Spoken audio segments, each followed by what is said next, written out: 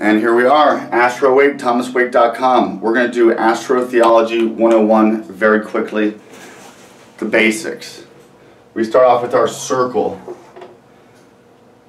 the feminine negative energy. We come through the father, fire, air, our male masculine, into the womb of the woman.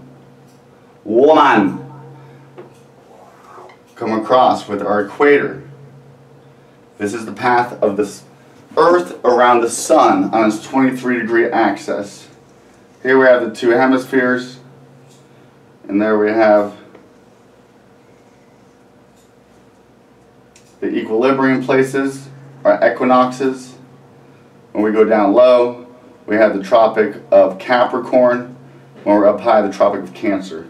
That was not the best illustration. Hopefully that will suffice. And then when we bring that together, this is what it will look like. Now we have it chopped up into four. This is giving our four angles. Also our four archangels. Michael of fire. Uriel of earth. You don't hear about that much. Gabriel, the gift of gab, speech, air. And then fire, earth, air, water. Raphael. Raft, you take a raft across the water. Raphael always has fish in his hands.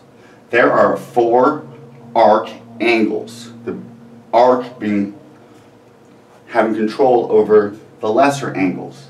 Now we're going to take our trip of the sun, the earth around the sun, and we're going to bring that from four, our four elements, our four directions, our four angles, angels, into 12.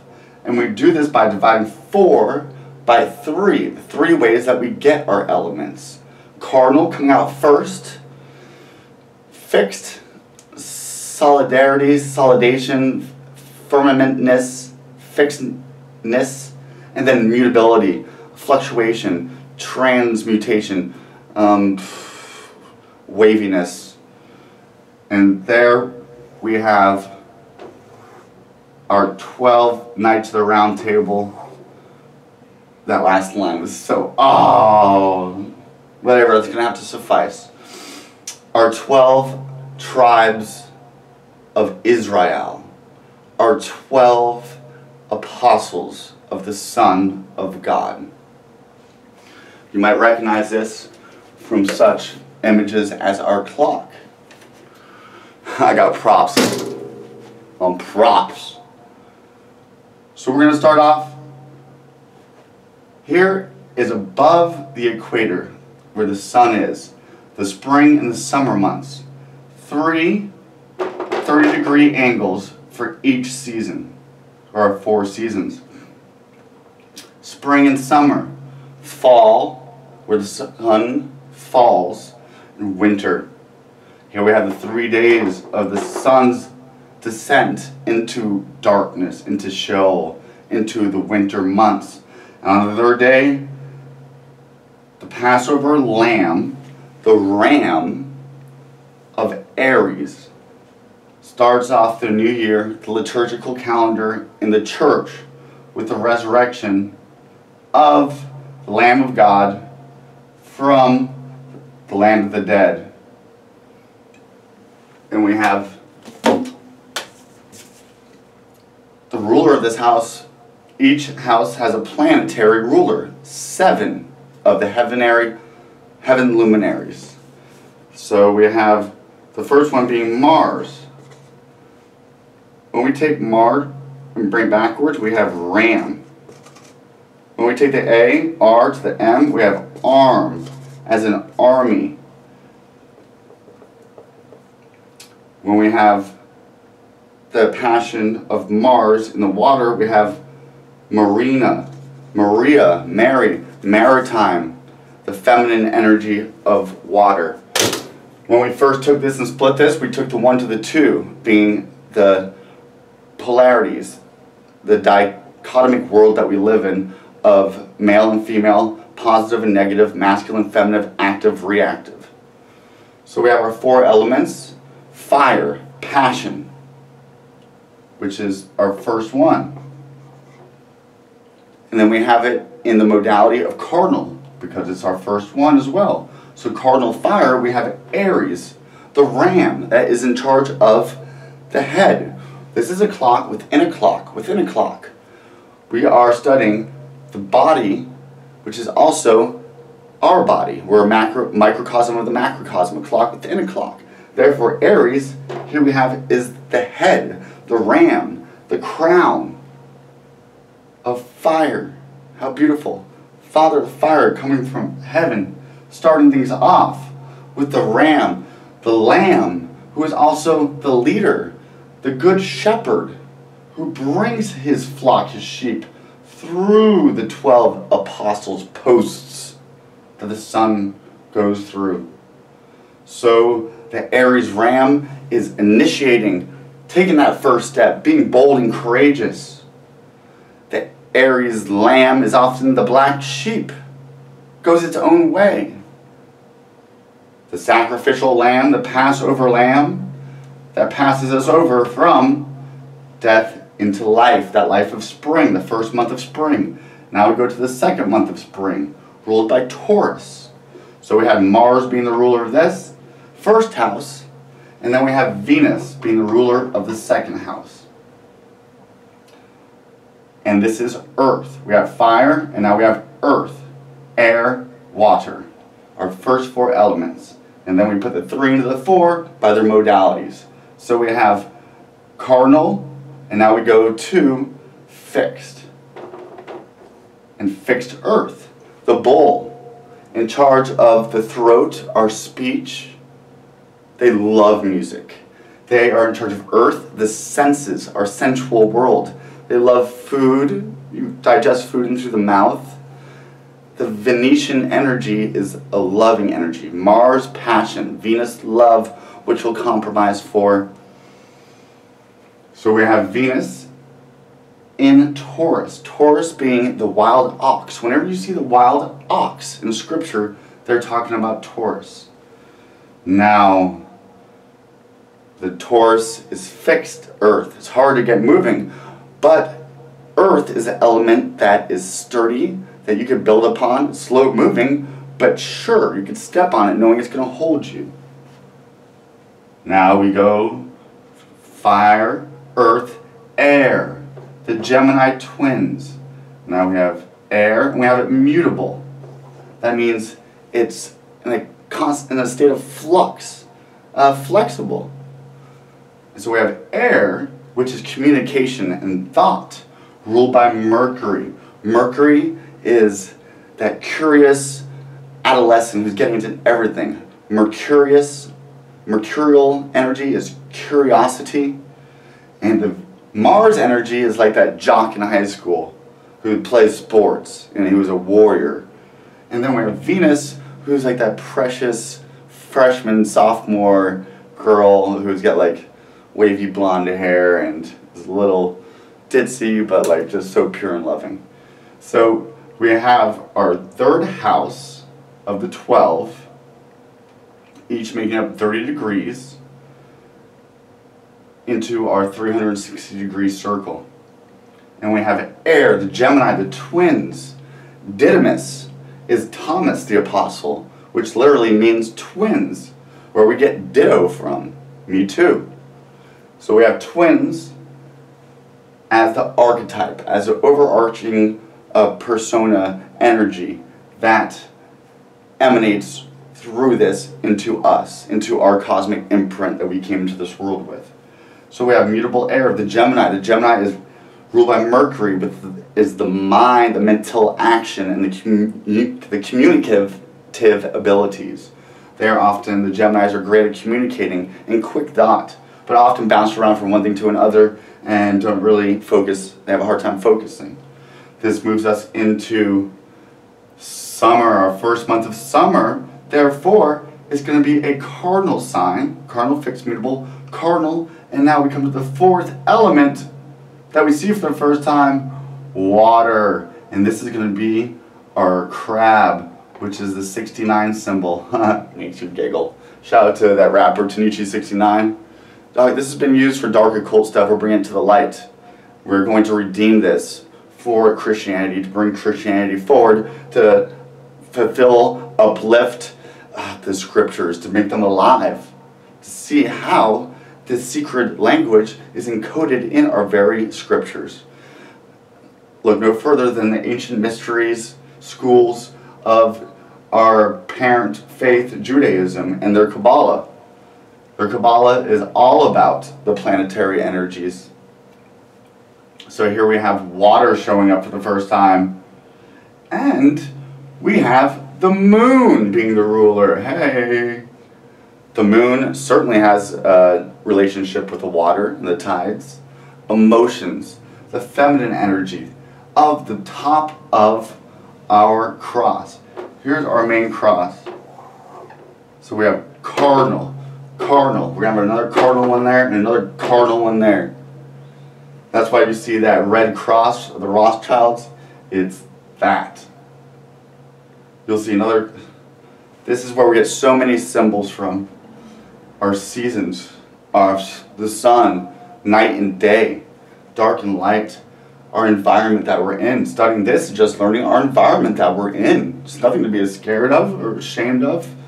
Here we have Cancer, which originally was also the crab, but originally is the scarab.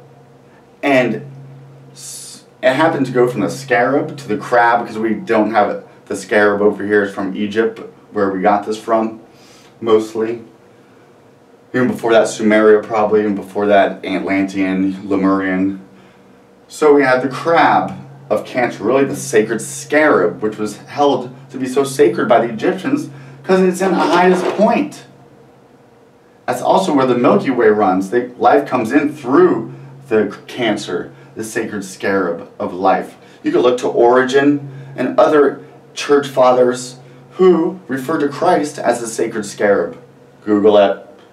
So, if you are known as a cancer crab, refer yourself as a sacred scarab who takes its egg and rolls it to the top of the hill in its own firmament to nurture it and does all this work just to care for its young.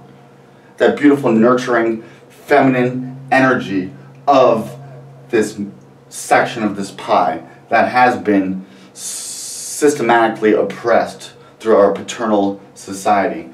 Not losing the sacred masculine as we bring up the sacred feminine, because when we bring them both up, we bring them both up.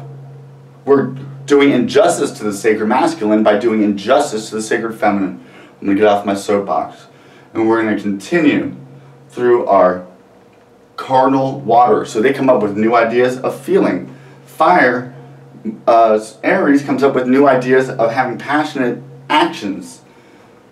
Cancer comes up with new cardinal emotional water things. Water is in charge of emotions, creativity, maternal, nurturing stuff. Maternal, we have water and earth, the female elements.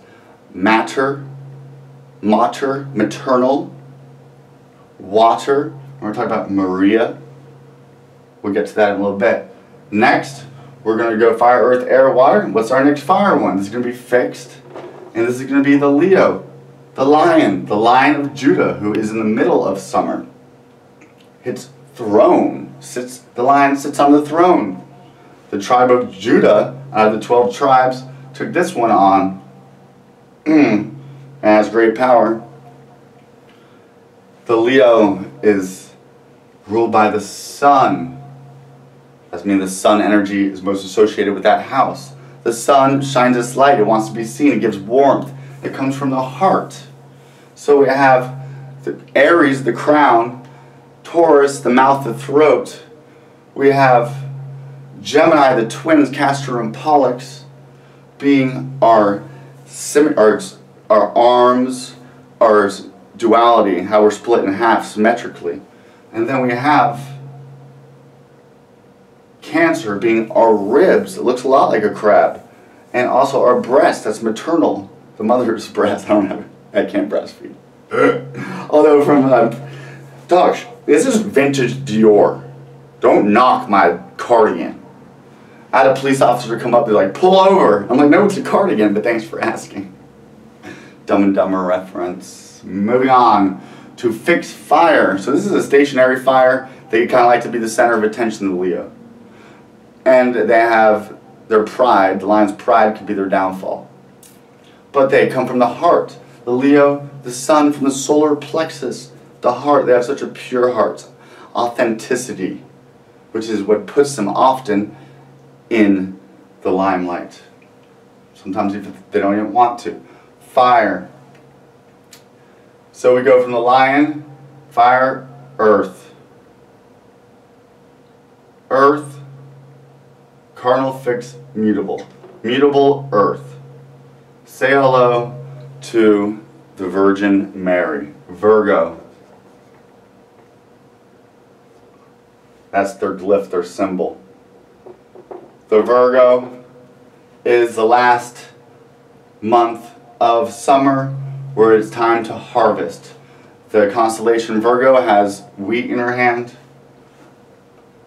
uh, herbs, spices. Uh, Mary, as in marijuana, is a herb. Juana is where we get John from John the Baptist. We'll get to that in a little bit. The great handmaid servant of the Lord. The Virgo archetype is that of service, of nurses, doctors. They're ruled by Mercury. So we have mutable Earth ruled by Mercury. Mercury's got the two mutable signs, obviously, because he's always bouncing around like a little pinball. Silver's his color. Mm-hmm. We're like, so is silver is also the color of the moon, like more silvery white. Gold, the color of the sun. The keys of St. Peter are gold and silver together, crossed. When we bring the masculine and the feminine together, there's our power. So now we have Virgo, that handmaid of the Lord. And next, we have cardinal fixed mutable. So we're going to have Virgo to Libra. So that's cardinal air. Libra is the scales. The glyph for it is a straight line right here with the sun right on it, on the middle. Because it has to do with the scales. Virgo has to do with the womb. the virgin womb of Mary. Look at her glyph. Is even an M with a fish tail. We'll get to that. Here we have Libra being the scales of the fall equinox, the spring equinox, summer solstice, winter solstice. Equal night and day, equinox. So we have Libra as scales. This is the only constellation that doesn't have an animal or human in it. Therefore, they can be kind of emotionless sometimes. But they're ruled by, their element is air, so they're very sharp and they're cardinals, so they come up with new ways of thinking. They're often always, air has to do with relationships, and so they're always looking for balance in relationships. They can also have a hard time uh, making a judgment because they're always looking for balance, and they can sell themselves a little bit short, and it can be a little bit cold, but they're often very pretty and beautiful because their planet ruler is Venus. Duh. Venus is freaking beautiful. Okay, and now we go to Scorpio, the pitchfork tail, who is fixed water. So they deal with the world of emotions, of deep dark psychology. And they're fixed. So fixed water goes, still water is deep water. So they go deep into the world and dark into the world of emotions, of the psyche, of the hidden. And they reach up and sting this, the heel of the virgin. The, the scales were untipped, showing that the human was unworthy. Her sin, and darkness abounded too much until the Christ entered into creation. And so we have the Scorpio also, Judas of Iscariot, who gives the kiss of death to the sun to bring the sun to its fall. When you get bit by a Scorpio, it leaves what looks like a lip. And it takes a while for you to die. They call it the kiss of death. Each piece has 30 degrees. Each month is ruled by the moon, the year by the sun, Helios, heliosphere, Horus, horoscope, horizon. Horus is the ancient name of the sun from Egypt. Isis, the moon, the feminine. And what do we do to the sacred feminine? We constantly attack it. Terra, the feminine, earth, terror, earth. What are we having a war on right now? A war on terror.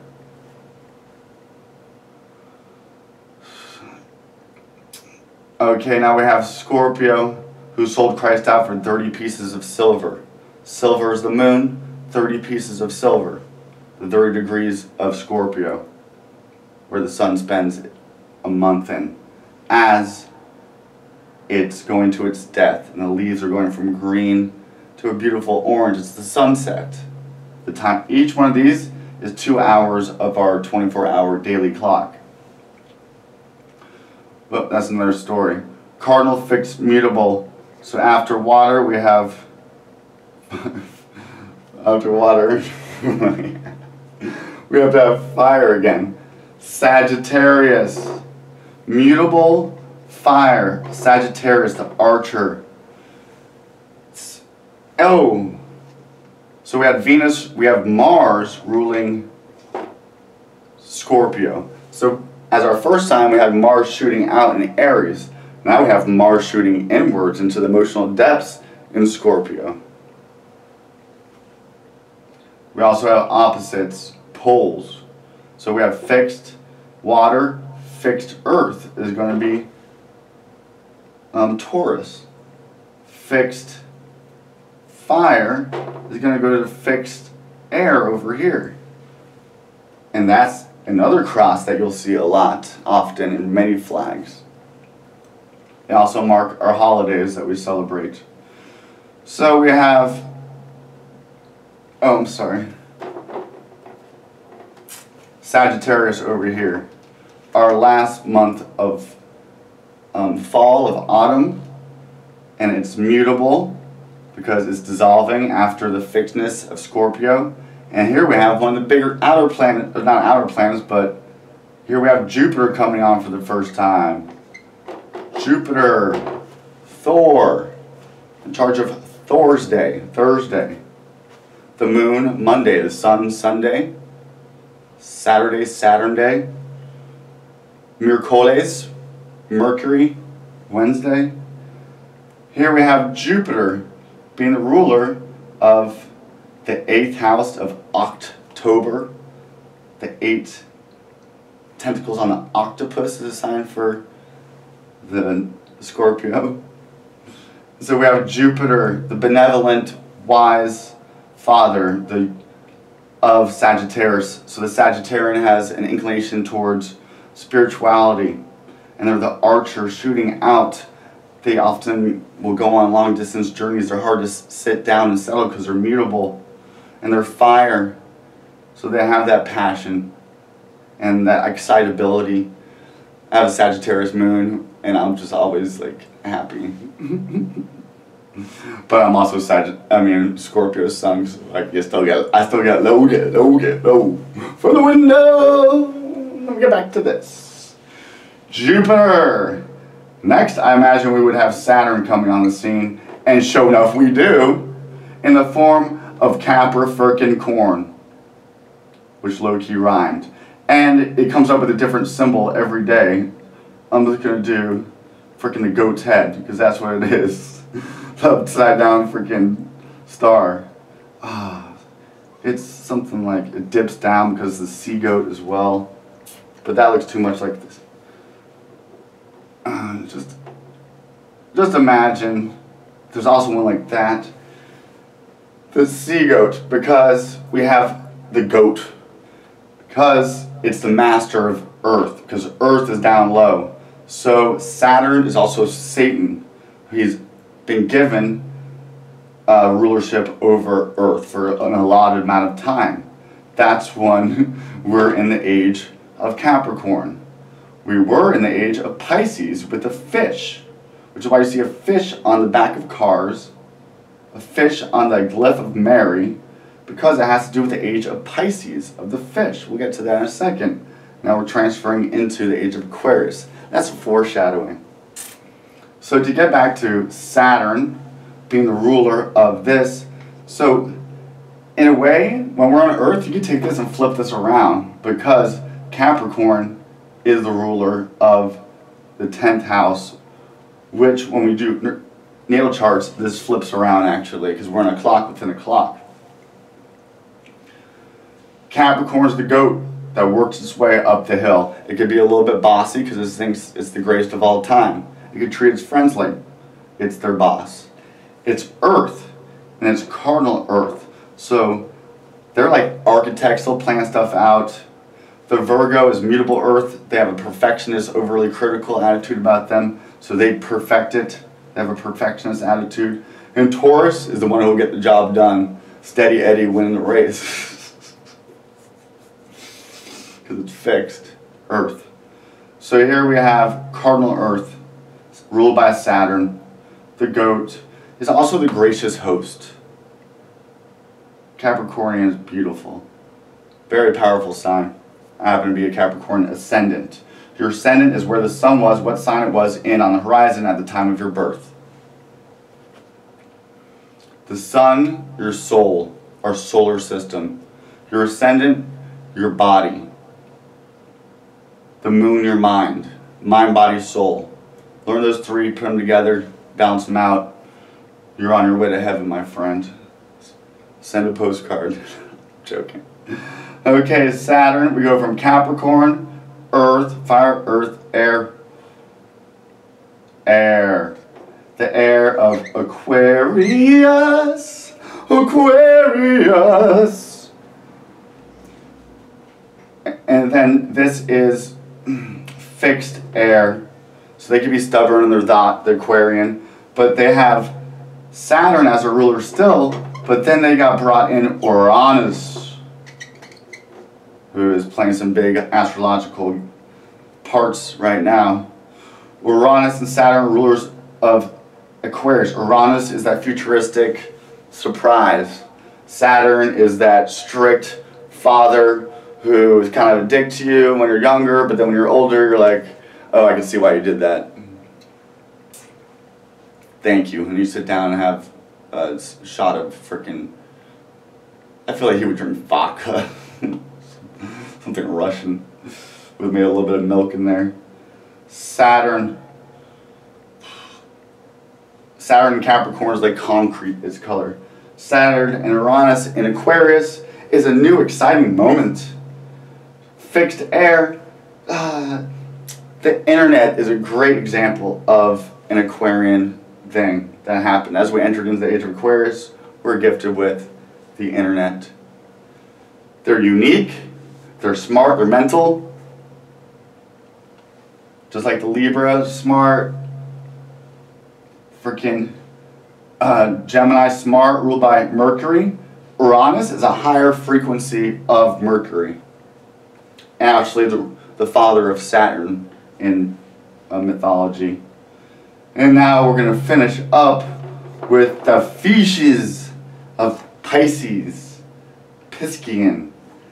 And this is water that dissolves, mutable. Water, emotional, psychic energy, that's out there. So they have psychic abilities, but they're hard to focus on one thing. Um, the fish rules the feet, Aquarius, the calves, Saturn, the knees, the kneecap of Capricorn, Jupiter, the Sagittarius, the uh, these parts of your body, I forgot what they're called. uh, Scorpio in charge of regeneration. It's the snake, it's the scorpion, it's the hawk, it's the phoenix, because it's in charge of taking people under and resurrection It's in charge of the death and the resurrection. Mars is in charge of the death and the resurrection. We're in charge of death, but death is just change. So death is also we're in charge of life. So we're in charge of the reproductive um, organs. So the stinger is uh, the male genitalia.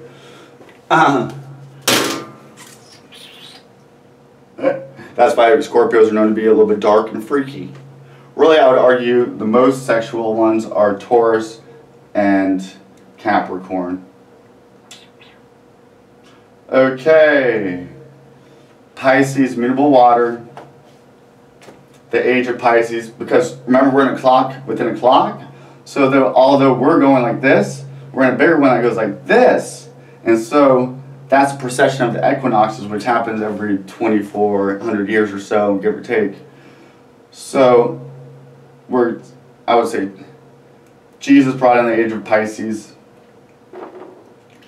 And with the ram, we had Moses and the lamb who had to tell them to stop worshiping the golden calf of Taurus. And then it went like that all the way back. And so we're going from Pisces into Aquarius. Exciting time to be alive, my friends. I hope you enjoyed this. Thomas Wake. Oh, are the kids still doing that?